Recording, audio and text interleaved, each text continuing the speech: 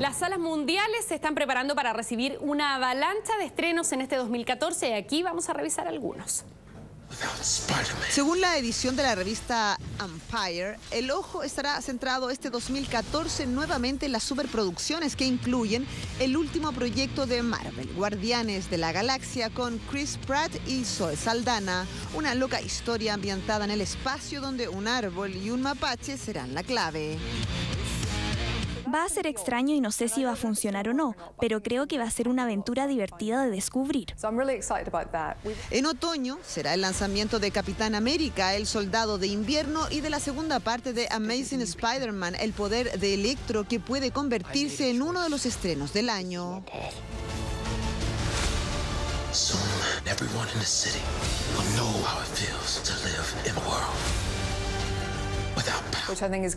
Creo que se va a tratar de dar una escala aún más grande, aún más impacto que la última vez.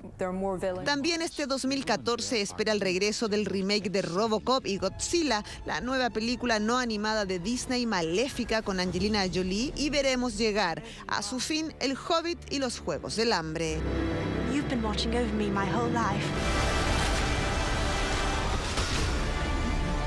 Se suman Transformers, la era de la extinción, la secuela del amanecer del planeta de los simios y la sexta parte de Resident Evil.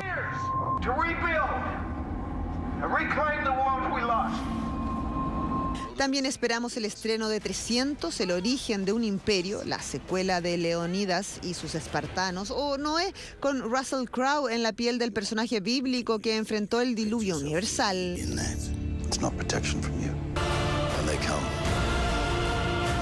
Mientras tanto, el nuevo año comienza con el estreno de algunos títulos que podrían estar en lo más alto de la lista de los Oscar. 12 años de esclavitud o El Lobo de Wall Street, el último trabajo de Scorsese con DiCaprio de protagonista que muchos ya ubican como una de las preferidas y que llega este 2 de enero a nuestra cartelera con calificación para mayores de 18 años. Con estas alternativas en el cine ponemos fin a la revisión de las noticias. Muchas gracias por informarse con nosotros, que tengan una excelente tarde y ahora quédense, ya viene el informe del tiempo. Nos vemos mañana.